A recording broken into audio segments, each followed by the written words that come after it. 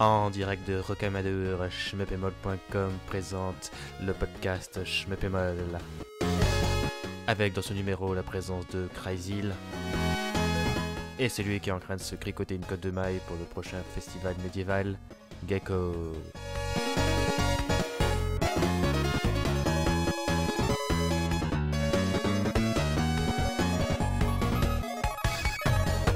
Bonjour à toutes et à tous et bienvenue pour ce nouveau numéro du podcast Schmeppemol, le numéro 91, euh, l'émission de la passion des shoot'em up.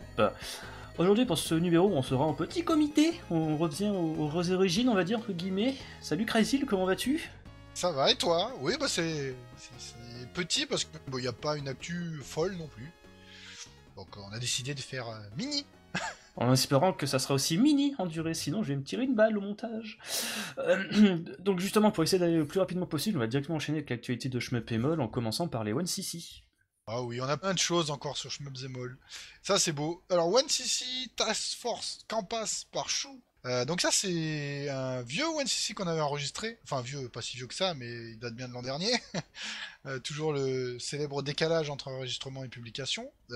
Donc un titre moyenasse, mais euh, bon bah Chou nous l'avait euh, présenté et justement c'était sympa de le découvrir, même si euh, il, bon, il est pas- il est pas ouf quoi. Mais bon. c'est un petit jeu indé quoi. Voilà, des fois ils sont plus réussis que celui-là, mais bon, c'est toujours agréable. Donc euh, merci à toi, Chou, hein, pour ce nouveau NCC. Euh, ensuite, on a eu celui de GG à l'Est 3. Ben oui, voilà, hein, si vous connaissez pas GG à l'Est 3, c'est dommage. Ouais, c'est un bon jeu, vous avez, devrez avoir honte de pas connaître ce jeu magnifique. Ça. Et on parle tout le temps, grâce à M2, etc., dans la magnifique compile à l'Est euh, collection, Collection. où il y a tous les à l'Est, euh, et donc ce inédit GG à l'Est 3. Donc bah, foncez le regarder si vous l'avez pas vu, et puis si vous l'avez déjà vu, merci à vous de l'avoir regardé.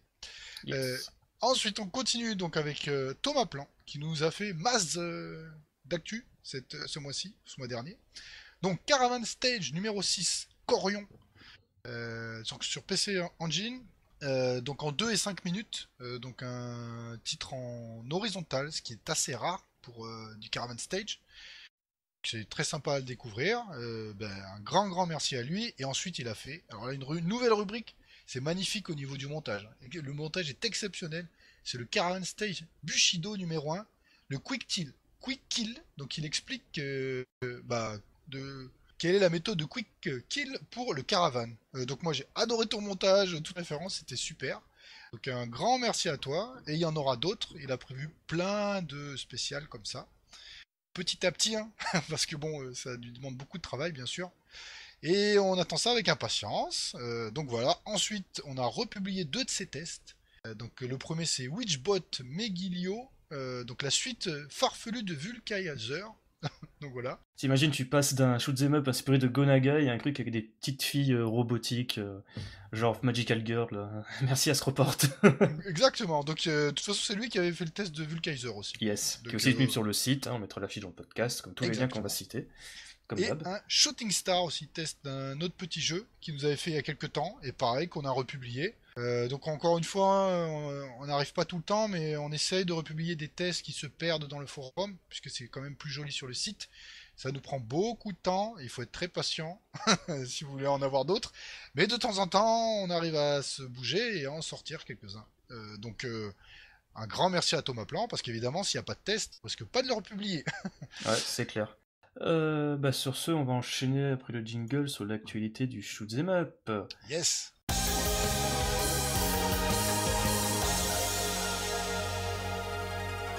Et on va commencer avec euh, une vidéo de raisonnable, n'est-ce pas Crazy pour rebondir sur le mois dernier? Oui, euh, tout à fait. Donc de Mushi Mushi Pork, le mode Manpuku. Euh, donc il a publié la vidéo qui a été montée par Liv, donc qui est fait avec lui-même et Radigo. Donc très belle présentation, très beau montage, très explicatif et assez hilarant par certains moments. Ah bah. Euh, surtout que c'est un petit jeu de cochonne, voilà. donc c'est facile à faire, mais il y a plein de références.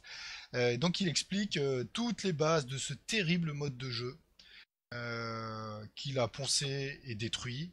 Donc c'est vraiment passionnant à regarder et même à écouter, parce que l'émission est, est assez longue, elle dure une heure. Mais il y a tellement d'explications que vous pouvez aussi vous le mettre en fond sonore euh, en écoutant comme si vous écoutiez un podcast par exemple. C'est clair. Pas notamment quand il va milker les boss, hein. c'est pas le passage le plus passionnant. Par exemple, parce qu'il y a beaucoup de milking. Et puis euh, surtout, oui, euh, ça reste toujours un, un- un joli ton, euh, très sympa. Donc bah, bravo à lui, bravo à Radigo et puis à, à Liv pour le montage. C'est du très beau boulot. Bravo messieurs. Une émission à regarder avec un bon gros bâton de berger. Ou un masque de cochonne. On veut pas savoir.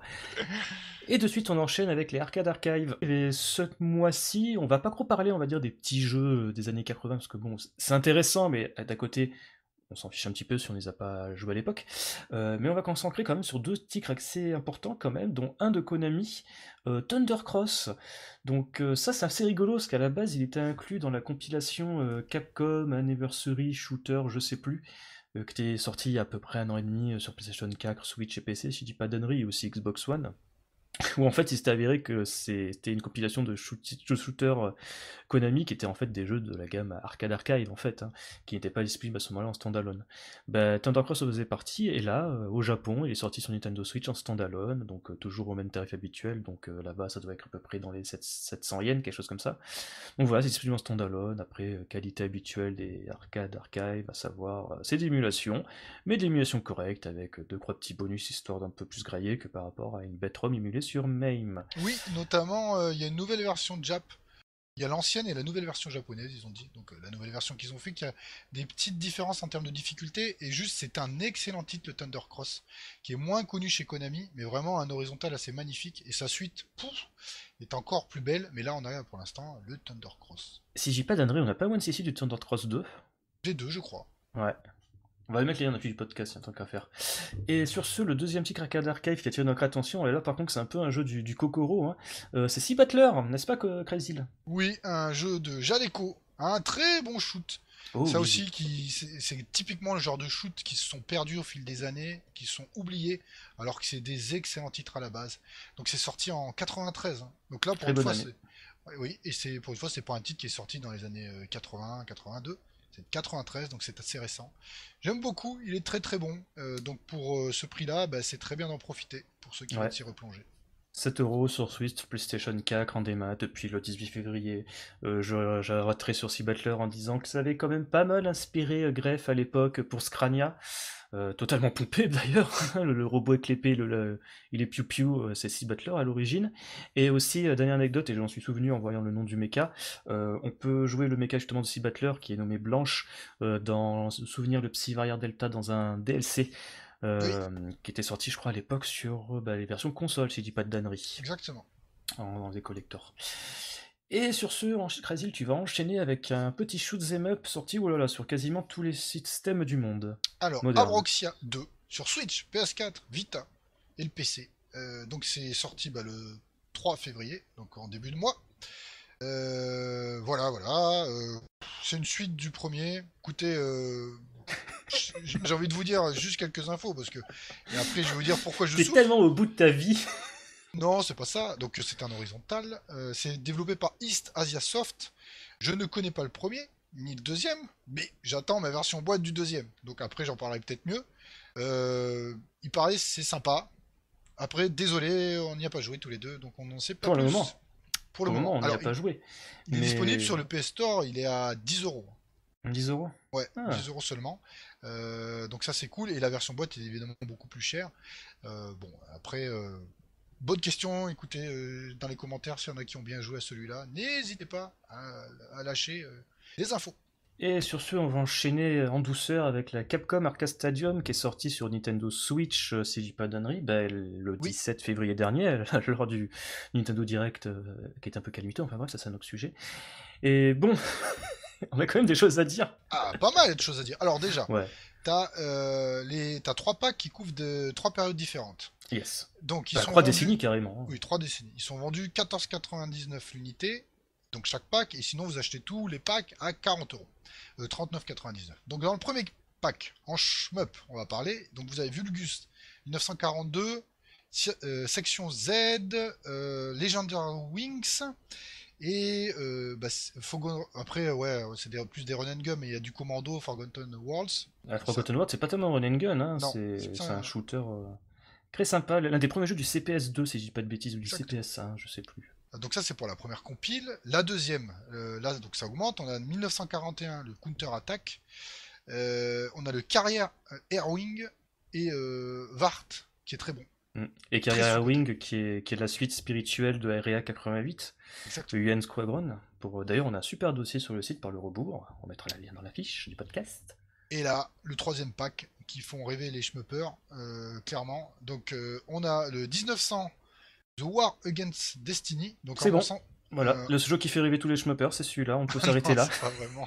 Pourtant c'était un excellent Oui, 1900. c'est pour ça que je dis ça. Et euh, d'ailleurs, on a aussi le 1944 The Loopmaster, pareil, qui sont dans les périodes plus modernes des 1900. Parce que les 1900, euh, les 42 et les 43, euh, faut se les farcir maintenant. hein. Mais ces deux-là, justement, ils ont une approche un peu plus manique, un peu plus moderne. Dedans, en plus, on a le Giga Wing. Alors déjà, ça c'est priceless, comme on dit, magnifique. Et le Pro Gino Arashi. Ah, ça c'est la classe. Yes. Euh, donc, euh, bah, cette compile, elle est belle. Les menus sont absolument magnifiques. Par contre, on a quelques retours qui ne sont pas très positifs, au- notamment euh, au niveau des chutes de framerate, qui sont, euh, disons, euh, préjudiciables. T'avais parlé de 5 frames sur Street Fighter, c'est ça? Alors, euh, sur Street Fighter 2, hein, donc un jeu de combat, les frames, c'est pas du tout important, bien sûr, c'est un jeu de combat. Donc, il y a une moyenne de 6 frames, 6 frames de lag pour Street Fighter 2. Putain, C'est calamiteux. Euh, 6 frames, c'est énorme. hein. Pour un jeu de baston, c'est absolument horrible. Et donc, il y a quand même des saccades et des, des chutes de frames. Alors là, euh, chaque jeu, je sais pas. Euh, par exemple, le Pro Gear, euh, bonne question. S'il est vraiment nickel chrome ou pas. Donc ça, pour l'instant, un peu plus de, de recul, disons, pour, pour le savoir. Mais euh, donc après les versions, vous avez version occidentale et japonaise dedans?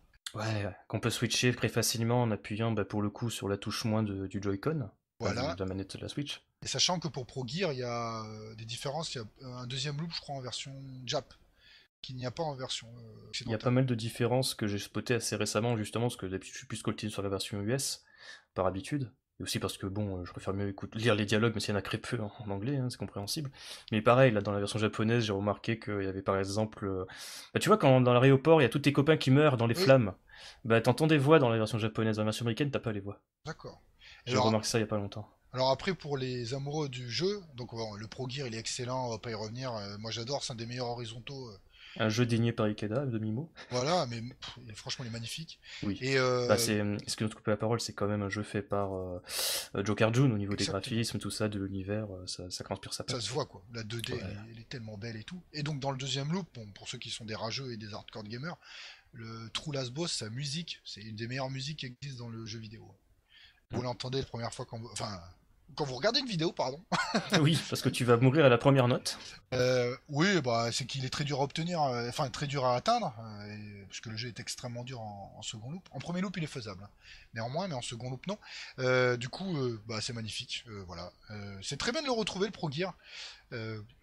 Qu'est-ce que, que, que dire d'autre? Une version boîte où il y aurait tout dedans un jour sur PS4 et puis. L'ajout, l'ajout de Daimao, Oui, par exemple. parce que ça, c'est typiquement le genre de jeu fait sur un système Capcom et édité par Capcom, même si c'est fait par Rising. Et peut-être des correctifs évidemment pour euh, les chutes de frame, hein Ce serait pas mal. Par contre, moi, il y a un truc qui m'a vachement surpris avec euh, la Capcom Arcade Stadium, je m'y attendais pas, c'est qu'en fait, quand j'ai lancé le jeu, je- j'ai été accueilli par le logo du moteur euh, Re-Engine, donc le moteur graphique qui sert pour un peu des petits jeux comme Resident Evil 7, Devil May Cry 5, euh, Resident Evil 2 Remake, le prochain Resident Evil 8. donc j'ai vu ça, j'ai fait genre, euh, what, what? C'est quoi ce délire? Et je comprends un peu mieux parce que mine de rien, ils ont apporté à certains soins au front-end, en fait, dans tout ce qui est euh, menu. Euh, ils ont quand même poussé le vice, avoir modélisé à peu près euh, toutes les bornes euh, Capcom de l'existence, que tu peux les sélectionner pour entourer ton écran de jeu, etc. Donc c'est assez soigné à ce niveau-là. T'as même, tu vois les, tu vois, souviens de GoldenEye Crazy à l'époque quand t'es gamin, que tu mets le menu start et que tu vois que le joystick il bouge en même temps que, que Ouais, tu le bouges en vrai? Bah, c'est exactement la même chose ici. Hein. C'est c'est des petits détails, moi ça me fait un peu criper. Mais ouais, c'est assez rigolo d'avoir vu ça. Et apparemment aussi, je regardais dans les crédits, il y a beaucoup de mecs de Capcom, mais j'ai vu apparaître les logos de M2, euh, d'autres euh, développeurs japonais, euh, un petit peu, on va dire, euh, Shadow Company, là, justement, les mecs qui en général font des, des travaux de développement, mais ne sont pas crédités. Donc c'est c'est assez rigolo de. On, je ne connais pas plus sur l'implication, par exemple, des gars de M2, mais ça m'étonnerait pas qu'ils ont dû, euh, comment dire, être conseillés sur euh, certains détails, je pense. Bon, après, il y a d'autres types de jeux dedans. hein. Là, on vous a dit que les shmups. Donc, Oui, euh, oui, oui. pour les shmuppers, ouais, il y en a beaucoup déjà. Énormément de très bons beat'em all. Strider. euh, Ouais. Goose and Ghost. Enfin, c'est, la classe. C'est même des trucs un peu moins connus. Alors peut-être que je suis pas très bon, mais le Battle Circuit par exemple, pff, je savais même pas que je connaissais pas du tout. Euh, donc euh, on peut aussi découvrir des jeux pour ceux qui sont pas très euh, très un- je sais pas très fans de la période ou qui n'ont pas tous suivi à l'époque euh, sur cette période. Exact. Et sur ce, on va enchaîner avec Twin Tiger Shark. Not the same. Alors là, j'ai pas mal d'infos. Bon, on va essayer d'être concis et de pas s'en mêler les pinceaux. Donc c'est un jeu JAMA. Alors qu'est-ce qu'un jeu JAMA? Bonne question. Euh, donc le format JAMA, c'était une connectique qui permet de connecter un jeu, donc de connecter votre PCB à la borne d'arcade. Donc ça fait des années que plus personne ne développe via le format JAMA. Je sais Ouais. pas ça fait combien de temps le dernier jeu en JAMA? J'ai aucune idée. Euh, bon, donc disons déjà c'est c'est assez original, c'est intéressant. Euh, donc le jeu est une relecture, évidemment, du Twin Tiger. Shark, qui était. Attends, j'en souviens plus. Si, c'était Twin Tiger Shark, mais qui était à l'époque un jeu Ouya, qui est sorti ensuite sur Android, et qui, est dev- qui était aussi un freeware PC d'ailleurs, qui est Oui, toujours mais disponible d'ailleurs. Oui, mais lui c'est lui-même une relecture du Twin Tiger. Ah oui, oui, c'est une relecture de son jeu, pour l'arcade Voilà. justement. C'est ça. Euh, donc le développeur c'est Michael Tillander qui avait déjà réalisé Tanzer sur Sega Mega Drive. Voilà, euh, pour info. Euh, donc les prix, donc il y avait un Kickstarter sur ce jeu. Donc les prix étaient très abordables. On va pas se mentir. D'habitude euh, les jeux, les jeux qui sortent récemment, même sur euh, des jeux Neo Geo ce que vous voulez, ils sont extrêmement chers. Donc là les prix allaient de 139 à 223 euros seulement. Euh, donc tu avais plusieurs versions. tu avais la version Early euh, donc c'était le PCB du jeu avec euh, les pieds, euh, euh, le manuel. On avait une version normale, euh, on avait une version complète arcade qui comprenait une boîte cartonnée des un instruction strip à poser sur borne Egret ou Atomis Wave. Et ensuite on avait la version complète et euh, il y avait la livraison de cartes filles contenant les éventuelles mises à jour pour un an. Euh, donc voilà, et il faut savoir que quand euh, tous les backers qui ont précommandé le jeu recevront leur exemplaire, bah, pour les suivants, le prix sera revu à la hausse. Donc si vous l'avez pas acheté à ce moment-là, ça sera plus cher pour la prochaine fois. Bah, justement, il a mis en ligne une page euh, Pledgebox, que je connaissais pas d'ailleurs, euh, où justement tu peux acheter bah, tout ce contenu-là, et par exemple le, le kit complet euh, va te coûter à peu près euh, 247 euros. Voilà, un peu plus que... Bah, ce Enfin c'est normal, il a fait comme ça. Mais c'était très abordable si vous avez backé, quoi. Donc c'est une très bonne Mm. idée. Ensuite, bah, le jeu, il a l'air sympa. voilà. Euh, après, Bah, déjà que le jeu à l'origine, le freeware, il était très agréable. Je me souviens que j'avais bien dosé à l'époque sur Android. Bon, il faut quand même une sacrée endurance, hein, parce que ça. Ah ben c'est un toit à euh, plan, hein. c'est un... Ouais, enfin ouais. c'est pas un toit à plan, pardon, c'est pas fait par toit à plan, mais c'est Inspiration. Ah, oh là là, plus qu'une inspiration, un ressucé, repompage que vous voulez, clairement des toits à plan. Euh, donc déjà si vous aimez pas les toits à plan, ça commence mal, parce qu'effectivement c'est du rail, c'est costaud, c'est du die and retry, Euh, voilà. Mais euh, bon, ça a l'air joli. Moi j'aime bien. Visuellement c'est très propre. Yes. Après que dire de plus? Bah là, euh, il faut attendre les retours hein, de tous ceux qui l'ont et qui vont, euh, qui l'auront et qui se feront un plaisir de nous en faire. Mm, Par contre, ça sera pas sorti avant au moins euh, décembre de cette année. hein, donc C'est euh, ça. Il y a- un peu de la marge. Bah il y, y en a, ils auront des versions un peu de bêta test quoi. Oui, euh, bien sûr. Euh, voilà, mais sinon, euh, oui, il faut, faut attendre, il faut prendre son mal en patience. En tout cas, c'est une initiative à souligner, notamment en termes de prix, pour ceux qui ont baqué le jeu au tout début. C'est euh, très sympa, et ça ressemble un petit peu à ceux qui ont fait, euh, donc bien sûr, j'ai oublié le nom, Xenocrisis, euh, la version Neo Geo, aussi, qui était, Ah, Bitmap Bureau. voilà, qui était à des tarifs accessibles également, euh, par rapport à d'autres développeurs qui mettent des tarifs abusés. Ou pas, en fonction de votre porte-monnaie. Donc voilà. Sur ce, on va enchaîner, on va un peu parler de sorties sur euh, Steam, mais vraiment rapido. hein. Euh, je vais commencer avec euh, Gun Reviper, qui est un shoot'em up en 3D, en, en espèce de, de vue euh, de croix quart, qui rappelle énormément les shoots qu'on pouvait voir sur PS1, euh, notamment Restorm en matière de caméra. Donc ça prête pas vraiment à être un truc de ouf. C'est un jeu en accent anticipé pour euh, 12,50€, mais à mon avis, je pense qu'il y a moyen de bien s'amuser, en sachant que c'est fait ça par un gars tout seul, par un Jap, tout ça. Donc, il y a peut-être moyen de bien s'amuser euh, tranquillou euh, sur un jeu, ma foi, euh, qui peut rappeler des bons souvenirs à ceux qui ont euh, un minimum dosé Restorm et un petit peu Recrisis. Oui, bon après la 3D est moins belle que chez Taito quoi. Ah, c'est sûr. C'est sûr. C'est un, parti, c'est un parti pris graphique. Oui, disons ça. Mais c'est le, le truc la 3D quand elle est utilisée dans dans une cohérence graphique générale, c'est magnifique. Mais si jamais elle est utilisée posée comme ça, bon, là pour l'instant, il donne. Bon, c'est pas l'air beau quoi. Mais peut-être qu'il est très intéressant dans son gameplay, c'est autre chose. Ouais, si vous avez aimé Restorm, vous avez sans doute apprécié Gun Reviper sur Steam.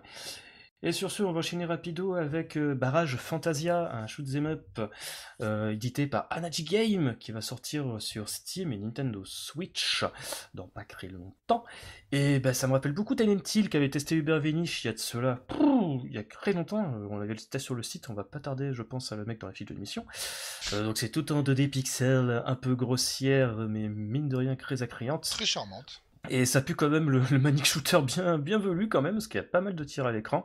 Et c'est presque étouffant en fait, vu que les sprites sont assez gros. Mais ouais, c'est vraiment. tu sais, il y a même une vibe un peu Mushi Mesama dans la, couleur des patterns, tout ça. Voire même des boss, hein, parce qu'il y a un gros scarabée à un moment donné. Mais ouais, ça risque d'être un jeu très intéressant qui va encore une fois enrichir le catalogue de la Switch qui s'est positionné hein, maintenant comme étant vraiment la console des shmups. Malgré l'input lag du système. Ou pas, ça dépend des gens. ça, dépend, ça, dépend, de la sensibilité de ton matos, etc. Exactement, beaucoup de variantes. C'est ça. Euh, de toute façon, si tu jouais déjà des jeux sur MAME avec l'input lag totalement pété à l'époque, voilà quoi, enfin bref, c'est notre sujet. Euh, tiens d'ailleurs, euh, Crazy, on va parler d'un jeu auquel tu bah, craqué, tu l'as acheté. oui, en... boîte bien sûr, parce que je suis un, un gros Golden Pigeon, donc c'est Natsuki Chronicle. Yes, parce que le mois dernier, on parlait de la sortie en boîte, donc chez. Oh mon dieu, je sais plus quel nom, c'était. Euh, euh, First Press. Euh, First Press Game. First Press Game, bah là, cette fois-ci, il est sorti en dématérialisé bah, sur Steam et sur PlayStation 4, en démat. Donc ça vous coûte de souvenir 25 euros. Et c'est disponible depuis, si j'ai pas d'annerie, depuis le 18 février. Alors, juste, c'est rigolo, la version boîte, il n'y a pas trop d'écart hein, pour l'instant. Entre la version démat et la version boîte. Je dis ça comme ça. Oui, je crois qu'il y a juste une dizaine d'euros, parce que je crois que c'est 40 euros la préco. Et c'est le juste prix hein, sur le, Xbox Live, à sa sortie, il était à. J'ai payé 42 euros. Et je le regrette pas. Donc oui, pourquoi tu l'as acheté, Crazy euh, bah, Parce qu'il y a un, mode arcade dans celui-là. Euh, et tandis que dans Giga Force, euh, t'avais pas le choix. Tu pouvais pas le faire euh, d'un seul coup. Hmm. donc là, au moins, t'as un mode arcade. Tu peux jouer comme un shmup traditionnel, disons. Et puis après, il me faisait quand même de l'œil, mais je voulais pas du tout jouer à un jeu où c'était qu'un mode histoire. Bon, bah en fait, euh, tu m'as donné des infos et j'ai précommandé comme un Golden Pigeon. Mon plan diabolique pour la suprématie de Naxi Chronicles est en marche. Ouais, bon alors les premiers retours, c'est pas un jeu de ouf, attention. Hein. Ah non, mais c'est clairement pas un jeu de ouf. Hein. Moi, je t'avouerai que j'ai kiffé. Hein. C'est sans doute mon shmup de 2020 mais pas pour les bonnes raisons, on va dire. Euh, parce que, bon, honnêtement, c'est un petit peu un goût de, ah ouais, tant d'années pour ça, tu vois ce que je veux dire C'est à l'époque, tu avais Scatos, le jeu avait une tête de cul, mais il s'en tirait avec la mise en scène de ouf, une musique qui claquait euh, tout, euh, et surtout une técrachier de mode de jeu qui variait les plaisirs. Euh, Genga Force est sorti de souvenir un an et demi après. Bon, lui, c'était totalement virage à 180 degrés, c'était un jeu nettement plus scénaristique, avec une pléthore de compositeurs, en plus de Yusuke Yasui. Donc c'était vachement cool, hein, bon, malgré le fait que c'était qu'une succession de stages, euh, on va dire entre guillemets épisodiques, avec une notion de d'XP avec notamment des RPG pour acheter de nouvelles armes.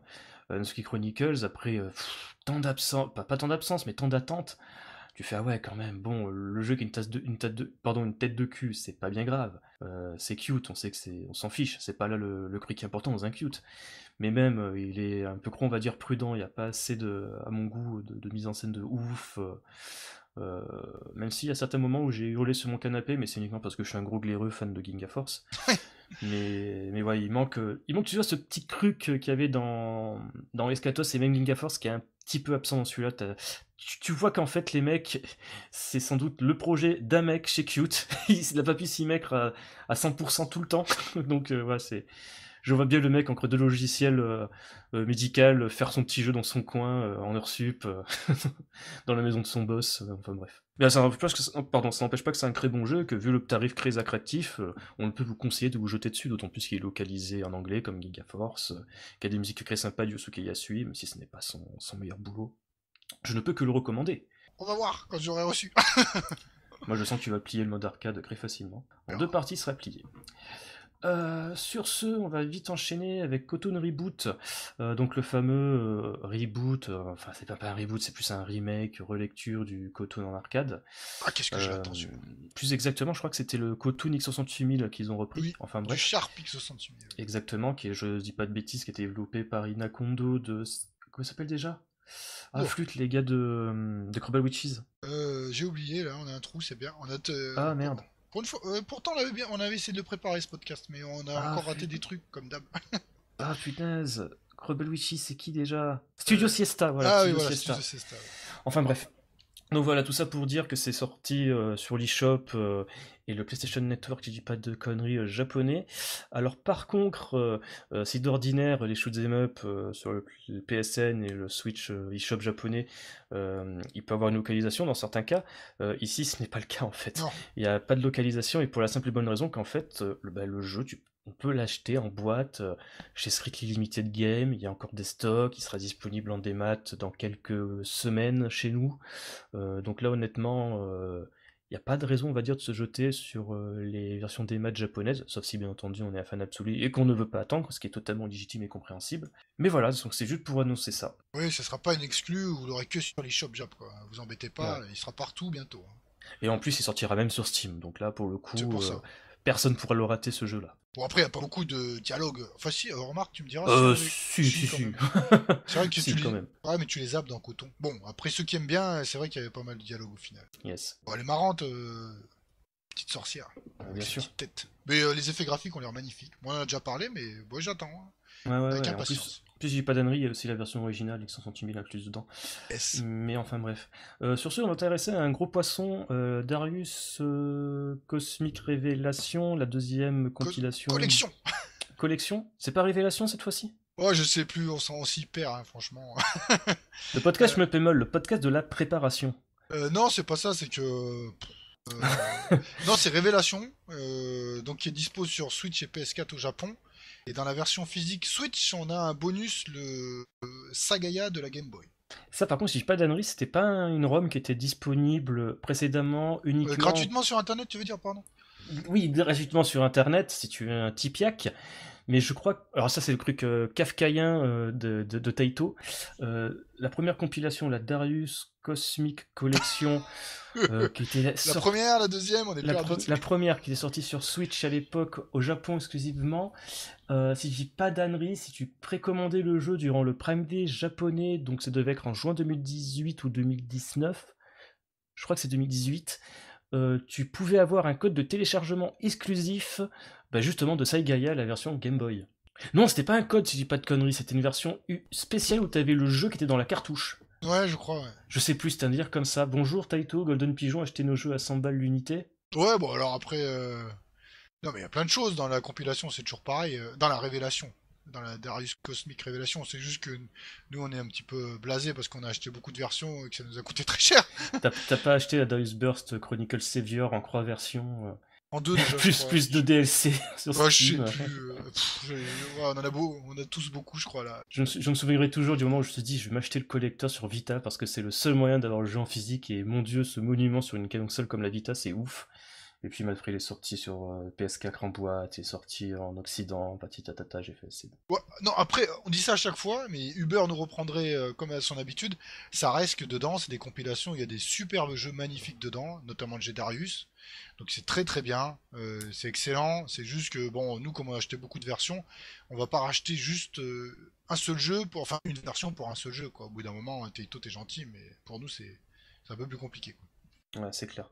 Mais en tout cas, dans cette compilation-là, il y a un plus de détails vu que le jeu est sorti. Euh, donc, on pour rappel, il y a Darius HD et une nouvelle version de Darius Burst Another Chronicles EX, donc EX+, cette fois-ci, qui se distingue surtout par 8 nouveaux events et donc notamment euh, trois nouveaux stages de score attack, euh, euh, deux nouveaux time attack avec 5 boss, un score attack sur Phantom Castle et Dirtful Wipe, un time attack sur le GTV carrément un score attack sur une succession de stress stages. Donc bonjour le Darius Gaiden à flûte le hack de Darius Gaiden là où tu avais tous les stages à la suite. Plus, Alpha, Alpha. Alpha, ouais, donc c'est ça c'est rigolo. Euh, Il y a aussi Darius HD, bon ça on le sait, par contre euh, il n'y aura pas la version 2, donc euh, vous l'avez dans l'os les mecs, on l'aura jamais celui-là. Chose Attends. rigolote, Attends, on n'est pas sûr avec Taito. Rien n'est sûr avec Taito. ils vont faire une, une Darius cosmique sodomie, et tu Non. auras ton G Darius version 2 euh, en, en HD avec euh, encore un Possible. book. euh, Avec Taito, c'est possible. Enfin bref, on se perd. Euh, tout ça pour dire que donc euh, au Japon, euh, tu peux acheter ces deux jeux séparément en fait sur l'eShop. C'est pas mal. Ouais, Si tu veux juste jouer au Gédarius sans te taper toute la collection que t'as déjà sur une autre compilation, pourquoi pas c'est ça. Mais bon, le tarot est quand même assez élevé parce qu'au Japon, sur l'eShop, c'est euh, 4100. Oh Attends, c'est 4100 yens et des poussières le jeu. Le Gédarius, le 4000 et quelques... Le jeu Darius HD et le co- Darius Another, Darius Burst Another Chronicle DX+. Quand même. Donc pour rappel, n'oubliez pas que Strictly Limited, il y a la version en boîte, PlayStation 4 et Nintendo Switch euh, occidentale, où tu auras les deux jeux pour euh, 60 euros. Et honnêtement, je pense que je vais craquer. parce que là, mine de rien, parce que si plus tard je veux me l'acheter euh, les deux, euh, ça sera sans doute en démat, et je me vois mal euh, payer euh, quasiment 100 balles pour, euh, pour deux jeux, quoi. Après, ils vont baisser aussi. euh. Ah, Taito, ils sont pas souvent, pas souvent des promos. Purée. Ouais, nous sommes des golden pigeons, n'est-ce pas? Mais oui, enfin bref, ça c'est juste notre conseil. Donc voilà, euh, donc euh, Darius Burst, euh, Another Chronicles Plus, Darius HD, c'est disponible en démat sur le Nintendo eShop japonais à 4000 yens, euh, version occidentale en boîte pour le moment chez Strictly Limited pour euh, 60 euros, la version PS4 peut-être un peu plus cher sur Switch de 5 euros. Ah, c'est quand même cher, purée. Ouais, et surtout la version collector à 140 balles avec euh, tous les salamalek habituels, donc euh, euh, euh, du live de 2011 de Zuntata, que, pff, que sans doute le rebours a déjà en double exemplaire, où il a déjà acheté à l'époque. t'as la boîte de carton qui ressemble à une boîte de PCB, t'as des pins, t'as des cartes acryliques à la con, t'as des flyers, t'as un papercraft de la bande de Darius Burst, et t'as bien entendu une nouvelle version du Darius Odyssey Cosmic Voyager qui sera localisée en anglais, ça c'est cool, c'est j'ai presque envie de me l'acheter, mais bon. ça, ça se justifie pas euh, quasiment euh, 80 euros de plus pour un bouquin. Enfin bref. Et sur ce, on va respirer un petit peu et on va enchaîner avec AirTag Final 2 Crazy. Oui, bah on a une date en fait, euh, simplement, voilà. 30 avril. C'est vachement tôt. C'est Ouais, vachement Euh, tôt, je m'y attendais. Vu les pas. dernières vidéos qu'on a vues, c'est quand même vachement tôt. pas qu'elles soient mauvaises, mais à chaque fois que j'ai vu des vidéos de ces derniers temps, de... bah, il y en a eu que deux, tu me diras, je me suis dit, waouh, ça a l'air cool, mais il y a quand même du boulot. Et là, on se dit, bon, bah, ils ont plus beaucoup de temps.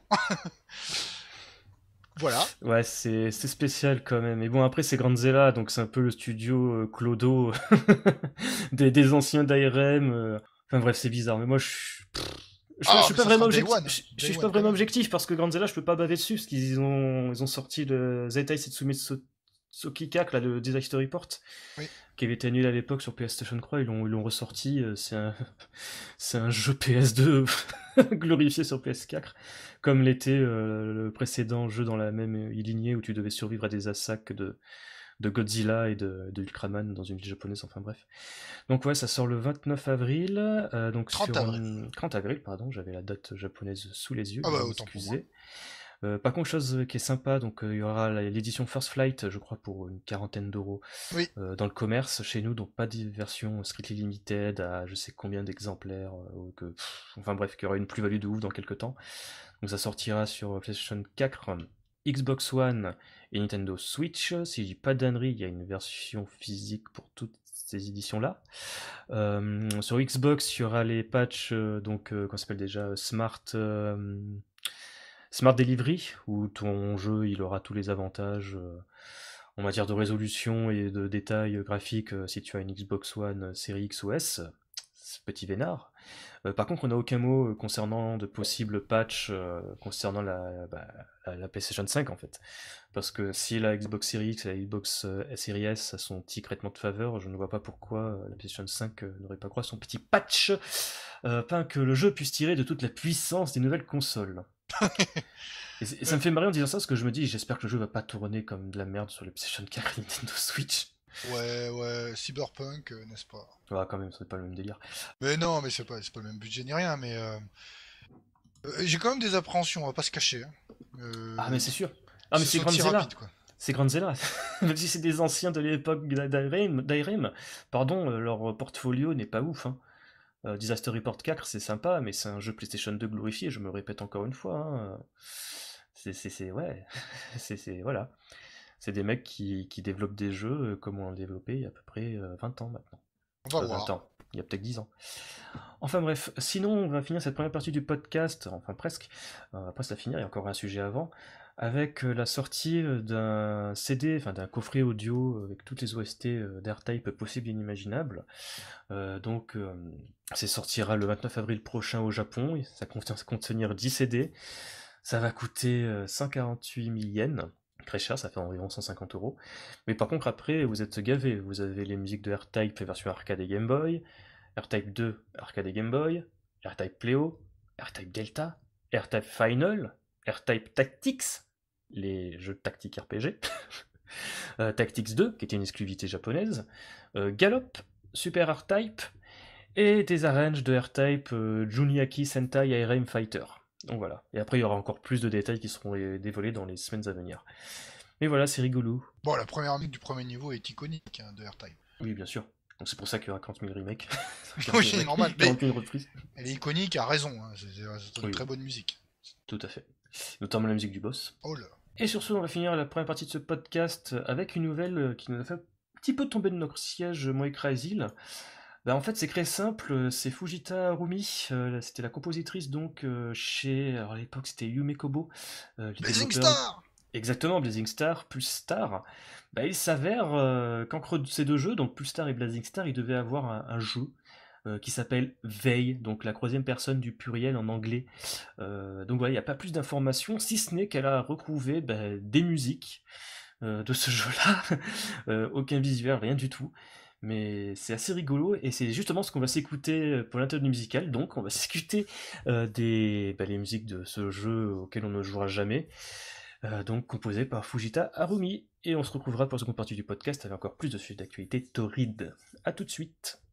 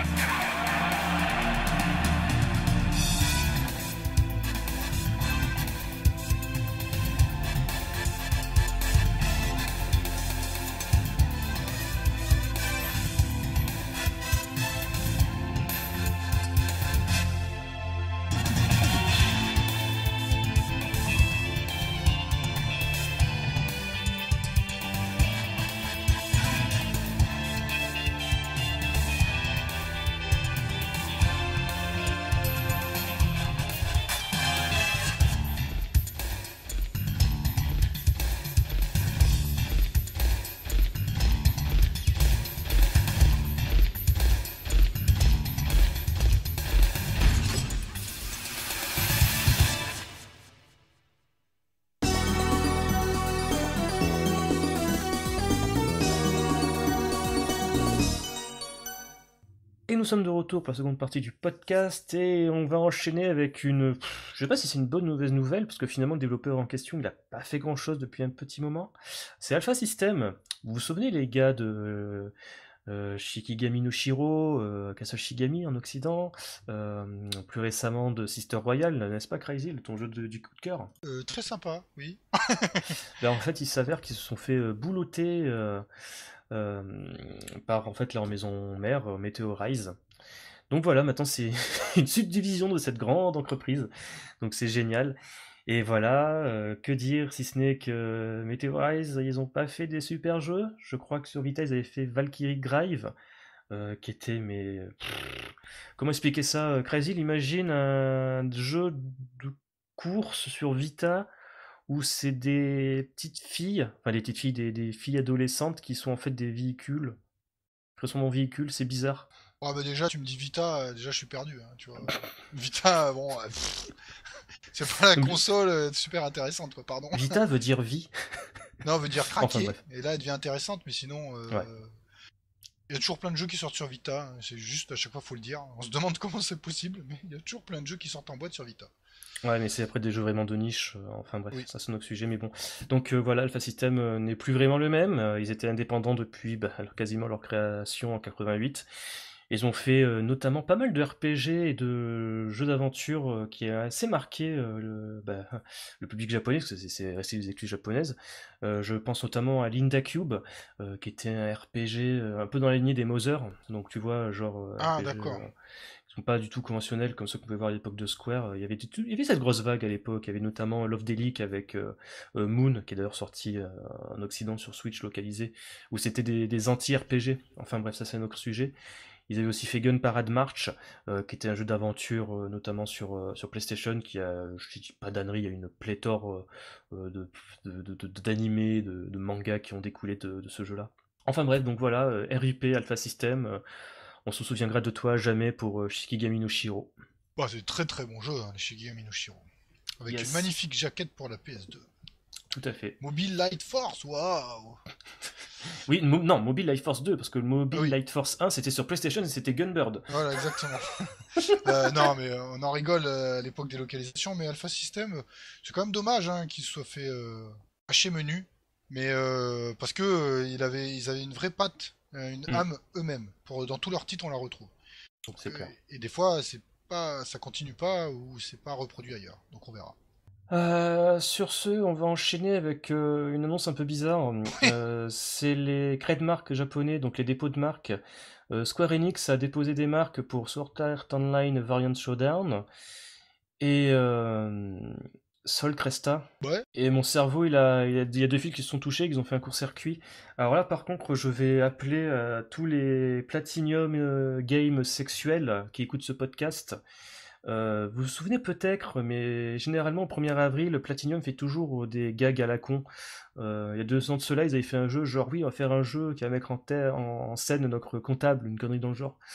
Et l'année dernière, en fait, ils avaient fait une espèce de promotion Platinum 4, où ils avaient annoncé euh, quatre annonces. Donc c'est à ce moment-là qu'ils avaient annoncé, si je me souviens bien, la, la sortie de Wonderful euh, 101 euh, sur d'autres supports que la Wii U, euh, plein de trucs comme ça, euh, etc. Et l'une de ces annonces-là, euh, qui est sortie le 1er avril, euh, c'était bah, Sol Cresta, euh, un shoot'em up euh, qui, qui rappelle notamment bah, le vieux, oh, je sais plus Terra- comment il s'appelle. Terra Cresta. Exactement, le Terra Cresta, mais c'est un vieux jeu, je, je ne me souviens plus c'est fait par qui, mais c'est- un très bon jeu, hein, mais c'est Luchimitsu, les Terra Cresta, je crois. exactement, merci, je ne me souvenais plus du nom. Donc voilà, bref, ils ont fait une super incro en CG avec un beau logo, Sol Cresta, où tu vois les logos de Hamster et de Platinum Games. On s'est dit, ah les cons, c'est une blague. Ah bah non, parce que, Plati- euh, bah, non, parce que Square Enix a déposé euh, la marque. Donc, je sais pas ce que ça C'est peut bizarre. Hein. De toute façon, ce sera un RPG, hein, tu parles. euh, si ça se trouve, euh, ce sera un truc bizarre qui a rien à voir avec. Cresta. Si, si, le logo d'Hamster, ça veut dire que, si je dis pas d'annerie, Hamster, à un moment donné, ils ont racheté quasiment le catalogue de tous les développeurs qui n'existent plus. Euh, si je dis pas de bêtises, ils ont chopé le catalogue de NMK. Euh, on attend d'ailleurs toujours Thunder Dragon 2 dans leur Game Arcade Archive. Ah, ça, on l'attend avec impatience. Et vous euh, avec la, la, les vocales totalement abusées. Ouais, et puis les logos qu'il faut, le, le- les débuts des stages qu'il faut détruire, euh, le- les bombes, tout est magnifique dans le jeu. Un très très ça. bon. Donc c'est c'est bizarre ce que tu vois sur ce- à l'époque du 1er avril, t'avais le logo de d'Amster, donc euh, sans doute les ayants droit de Nichibitsu maintenant, et de Platinum Games. Donc t'es en train de me dire que wesh les mecs, euh, Platinum va faire un shoot'em up. Et qui dit shoot'em up chez Platinum, il y aura sans doute ce motherfucking Hideki Kamiya. Je peux sais plus. pas, c'est bizarre. Non, franchement, il faut attendre d'autres infos, c'est c'est trop bizarre. Alors attention, s'ils font un truc comme les, euh, le Terra Cresta et euh, je crois qu'il y avait une suite, oui, il y en a deux Terra Cresta. Ouais, il y avait une suite. Oh, c'est. C'est- ça sera pas pareil, mais moi je suis en train de fantasmer sur un shoot'em up par Hideki Kamiya. Et pourtant, le gars, c'est un fan de shoot, mais à chaque fois qu'il y avait une composante shoot dans ses jeux, c'était de la merde. Les, phases de tir dans Bayonetta, c'est pas ouf, hein. Non, pas du tout, non. Et voilà, enfin bref. Oui, Donc voilà. Et si c'est pour faire un Terra Cresta euh, 3D ou sous le Cresta 3D comme ils avaient pondu sur Saturne, une daube infâme, non merci. Bah, je, veux, je veux y croire, c'est Platinum. Même, même, les jeux, même les jeux de merde Platinum, comme notre euh, Star, Force, Star Fox Zero, pardon, est une putain de gemme. Si les gens, vous aimez pas Star Fox Zero, c'est que vous avez pas joué, vous avez des doigts palmés. Et sur ce, on va enchaîner sur le deuxième, dernier sujet de ce podcast. Euh, ça, par contre, c'est une annonce euh, qui nous a un peu surpris, moi et Crazyl. Euh, c'est qu'en fait, il y a un nouveau LS qui a été annoncé, mais pas vraiment. Euh, tu te souviens, il y a, je près de cela un an, il y a M2 qui avait annoncé un nouveau shmup en arcade sur le système Sega euh, APM Croix. Euh, Sanjin, Oui. donc était un jeu avec une 2D léchée qui pouvait rappeler ce qu'on pouvait se voir euh, à l'époque, euh, à la fin des années 90, euh, chez Cave. euh, DDP. Cave, Gazelle, DDP et compagnie, donc voilà, très détaillé, très fin, où tu avais une mécanique étonnante, où tu avais quatre vaisseaux que tu pouvais, on va dire, euh, tu pouvais le changer à la volée en plein jeu en fait. Et donc voilà, ce jeu est plus de nouvelles depuis, sauf bah, les mecs, ils ont collé le nom à l'est dessus en fait. Maintenant, Senjin s'appelle Senjin à l'est, et sans plus d'informations. C'est trop bizarre. Alors les premiers visuels, euh, franchement, tu regardes euh, un visuel, tu mets une photo de DDP à côté, tu fais bon, bah c'est DDP. Bah, au niveau des décors, c'est à peu près ce niveau ce détail-là, quoi. C'est très soigné. Après c'est très beau, mais ça ressemble à DDP. Alors je sais pas si ça ressemblera, mais même les designs des vaisseaux et tout, euh, je me dis bon, euh, quel est le rapport avec un Alest Je ne sais pas. Bah, c'est ça en fait le truc, et j'aimerais bien qu'on en discute à peu près 5 minutes. Euh, c'est que moi j'ai l'impression qu'en fait, euh, M2 en ce moment il colle euh, à l'est à peu près sur tout et n'importe quoi. Comment expliquer cela?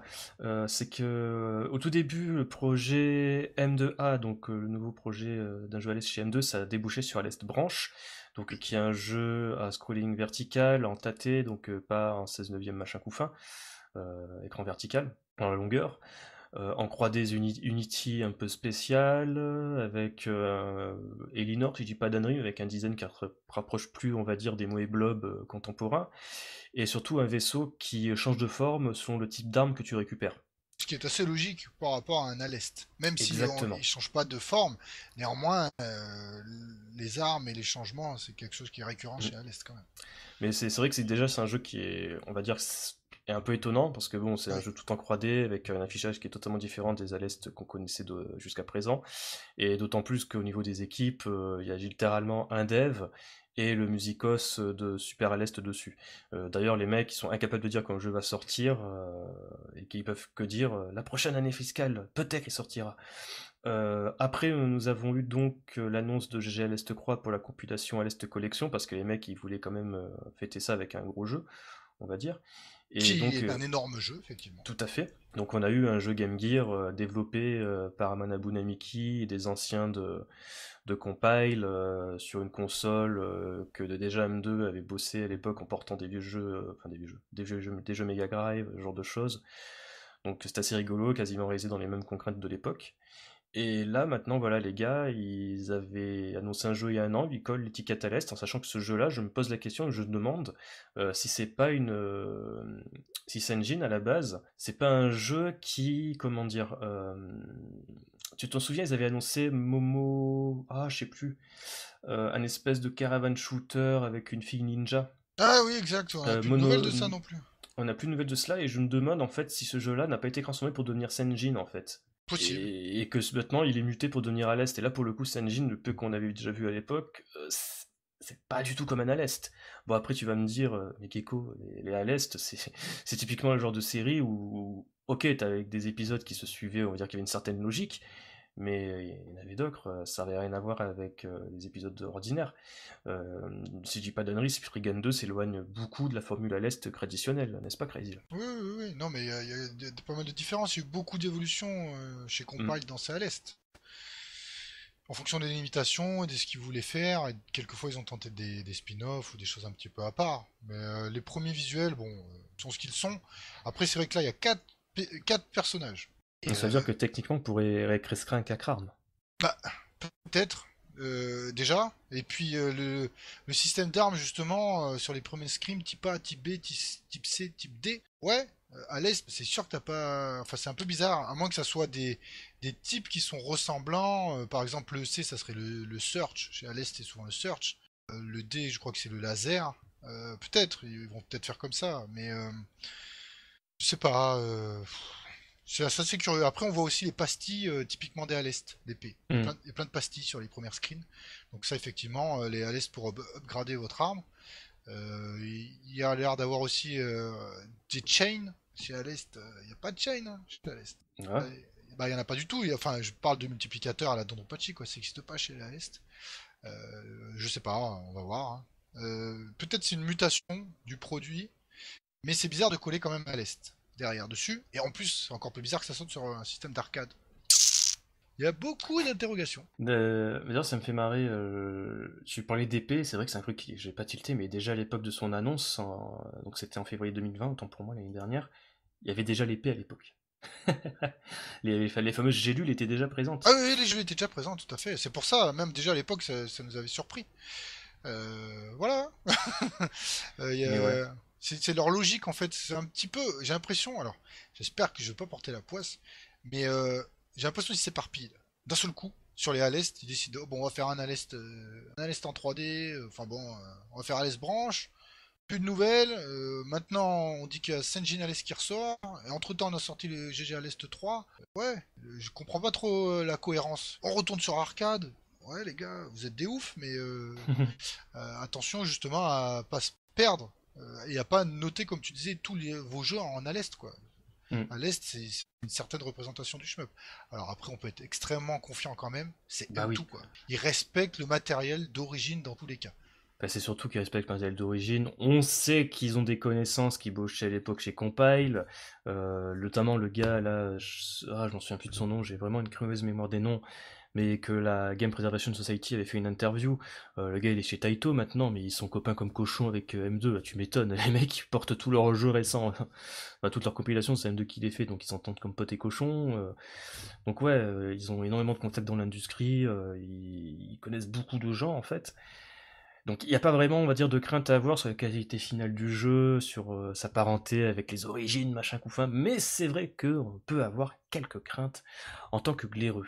Ouais, c'est plus ça là. Franchement, c'est des trucs. Euh, j'allais dire vraiment, c'est du, brainstorming euh, pour les gars qui sont fans des à l'Est. Parce que sinon, les premiers visuels, vous connaissez pas à l'Est, euh, déjà vous vous dites, oh, ça claque, c'est beau quoi. Ah bah oui. La 2D est absolument magnifique. Les premiers screens qu'on a vus, ça donne envie. on n'a pas l'impression qu'il y a le côté lolliput. Déjà, c'est très bien. Parce que si dans un l'Est, il y, aurait ça, ça serait vraiment sacrilège. Hein mm. donc, même, si je, même si, que moi, je me souviens que dans l'artwork de l'Est 2, on voit quand même le décolleté de Elinor et waouh! Oui, mais ça, c'était des clins d'œil. C'était pas quelque chose qui était euh, valorisé tout le temps, tu vois. Enfin, c'était pas tout à fait pareil. Euh, en plus, ça avait un petit côté euh, replay. Oui, voilà. Bah, c'est comme, j'ai envie de dire, c'est comme le côté Samus dans Metroid. À la fin, si vous réussissez bien, vous avez un petit, petit bonus, quoi. Voilà, c'est ça. Mais c'est pas quelque chose qui en fait l'entièreté. je rappelle, dans le premier Metroid, vous savez qu'à la fin que c'est une fille. Hein. C'est clair. Tu pensais que c'était un espèce de Robocop Exactement. Euh, donc ce petit côté-là. Après, euh, oui, bah, moi c'est surtout le système. C'est un net. Euh, qu'est-ce que c'est que ce truc? Il y a quoi dessus?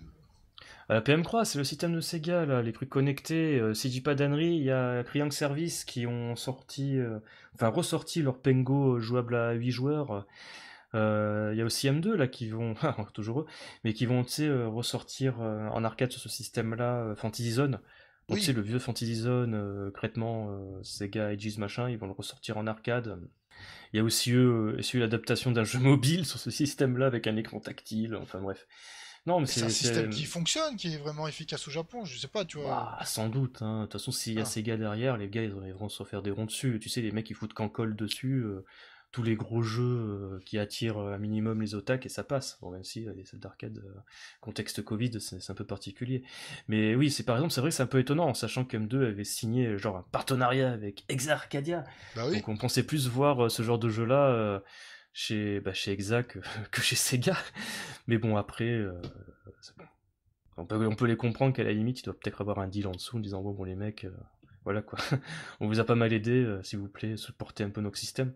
Peut-être. Alors après, euh, il y a quelque chose aussi qui, c'est pas qui me dérange, mais qui me surprend. À l'est, c'est très long. Enfin, c'est très long.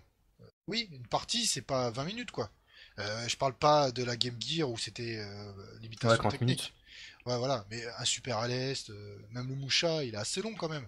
Mm. Et puis c'est pas des, c'est des titres qui sont pas dans les difficultés standards. Putain, c'est vrai vous crevez pas au premier niveau, quoi. Vous crevez raison, 5 sixième niveau. Donc imagine, euh, si c'est pour un système arcade, euh, il faut que ça soit un peu rentable, quoi. Putain, mais t'as raison, en fait, c'est la première fois qu'on va voir un Alès, entre guillemets, en arcade. Il n'y en a jamais auparavant, si je dis pas de bêtises. Non. Et puis surtout, oui, c'est l'histoire de rentabilité qui m'inquiète. Parce que si tu joues 25 minutes ou 30 minutes, parce que si c'est comme à l'Est, euh, la difficulté est moyenne et il y a des pics à certains boss, bon, qui, euh, qui, euh, qui, exige du dry and retry et de l'apprentissage, mais c'est pas une constance. Chaque niveau est pas d'une difficulté absurde.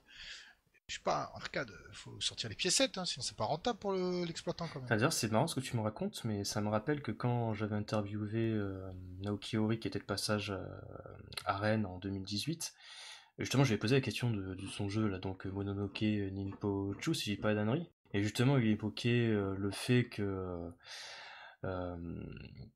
il faut justement essayer de concilier le, fait que le caravane, euh, euh, comment le rendre rentable en arcade en fait.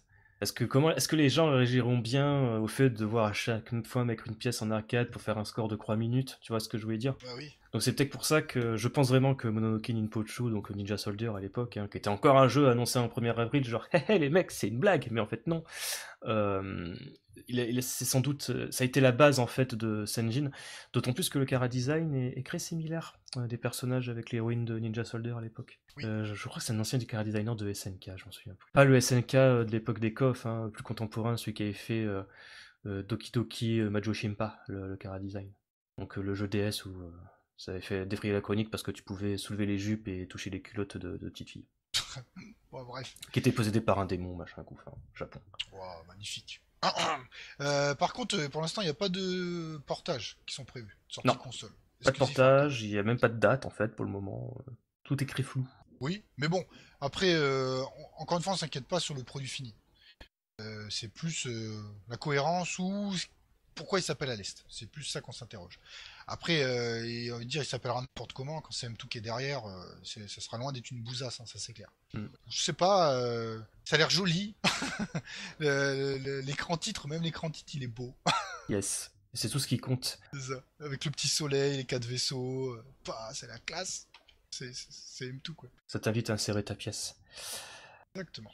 Et sur ces belles paroles, il est temps de conclure cette émission. Donc, comme d'habitude, euh, vous trouvez tous les liens qu'on a cités euh, durant cette émission sur la fiche du podcast, donc sur schmepemol.com. Euh, as usual, vous pouvez nous suivre sur Twitter, Facebook, euh, aller sur notre Discord qui est un petit peu une ville fantôme, aller sur notre forum qui est aussi une ville fantôme, et non, il y a plein de gens qui jouent à GG à l'Est en ce moment. c'est clair, je suis mi-disant. Mais surtout, abonnez-vous à la, chaîne YouTube Team Schmeppemol pour justement rater aucun des One C et des Sissi tout court. Parce qu'en ce moment, on n'a pas dit au tout début, mais on a pas mal de vidéos sur justement les GG à l'Est. C'est un petit peu l'actualité de ce début d'année. Et ben, comme d'habitude, n'oubliez pas, mieux vaut bomber plutôt que crever. Ciao tout le monde. Ciao.